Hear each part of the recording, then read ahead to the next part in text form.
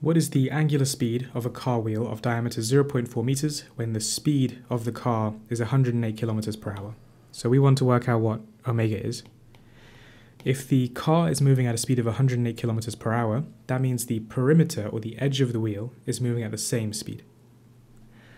Let's convert that speed to meters per second.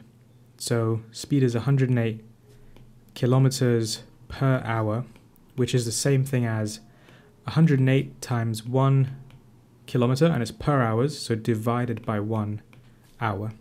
So this is then the same thing as 108 times, there's a 1,000 meters in 1 kilometer, and there are 3,600 seconds in 1 hour. That's just 60 times 60. That gives us 30, so the speed is 30 meters per second. And then we know that the diameter of the circle is 0.4, so the radius of the circle would then be 0.2. So then omega is equal to v over r. This is the speed of the edge of the wheel. This is the radius of the wheel. So then put those two things in. 30 over 0.2, that gives us 150, and the units for omega would be radians per second. So that would be b.